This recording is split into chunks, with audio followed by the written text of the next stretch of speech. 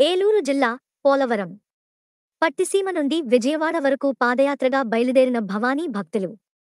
పోలవరం మండలం పాత పట్టిసీమ గ్రామంలో భక్తులు భవానీ మాల ధారణ ఆచరించి భక్తి శ్రద్ధలతో పూజలు నిర్వహించారు.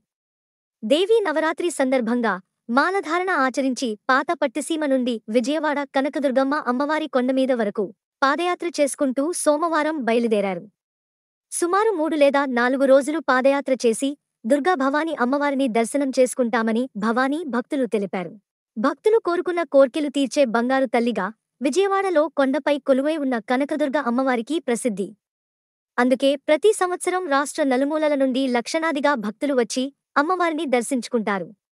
మొక్కులు చెల్లించుకుని కోర్కెలు తీర్చాలని కోరుకుంటారు. తమకు అండగా ఉంటూ పాదయాత్ర దిగ్విజయంగా సాగాలని కోరుకుంటూ జై భవానీ జై జై భవానీ అని అమ్మవారి నామస్మరణ చేసుకుంటూ పాదయాత్రగా భక్తులు పట్టిసీమ నుండి బయలుదేరారు. మరి ఇవాళ పాదయాత్ర చేద్దాం. విజయవాడ దుర్గం తల్లి మరి ఇవాళ మరి మూడు రోజులు నాలుగు రోజులు పడుతుంది బాగానే మూడు రోజులు నాలుగు రోజులు పడుతుంది. మరి తల్లి దగ్గరికి వెళ్ళి దర్శనం చేసుకుని మళ్ళీ వచ్చేద్దాం అనేసి ఇప్పుడే స్టార్ట్ అయ్యాం మరి. బాగుంది మరి. కొంతమంది బాగుంది. స్పీడ్గా నడుపుతారు కొంతమంది బాగుంది. స్లోగా నడుపుతారు దాన్ని బట్టి మేమైతే ఏడు సంవత్సరాలు వేసుకున్నాం కానీ కొంతమంది అయితే మూడు సంవత్సరాలు రెండు సంవత్సరాలు ఐదు సంవత్సరాలు. నేనైతే ఏడు సంవత్సరాల నుంచి నడిచి వెళ్తున్నాను మనం కొంతమంది అయితే మూడు సంవత్సరాలు ఉన్నారు నాలుగు సంవత్సరాలు ఉన్నారు రెండు సంవత్సరాలు ఉన్నారు. ఫస్ట్ వచ్చే వాళ్ళు ఉన్నారు.